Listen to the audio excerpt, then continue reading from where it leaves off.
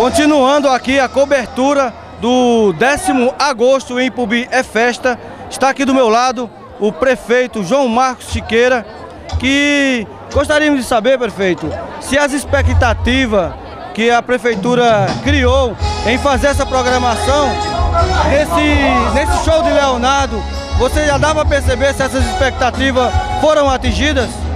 Boa noite a todos os amigos e amigas da TV Nordeste.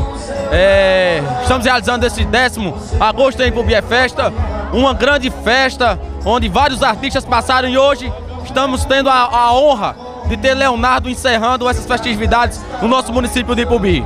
Uma multidão de gente de todo, toda a região do Araripe aqui presente e a gente só tem a agradecer a presença de todos e que possamos fazer do próximo agosto em Ipubi Festa um sucesso e continuando a ser uma das melhores festas de toda a região do Araripe. Graças a Deus, já estamos encerrando nesse terceiro dia e, e não tivemos nenhuma ocorrência. Eu quero desde já agradecer a Polícia Militar de Pernambuco, Polícia Civil, Corpo de Bombeiros, Conselho Tutelar, que são sempre parceiros nossos para que possamos realizar essa grande festa.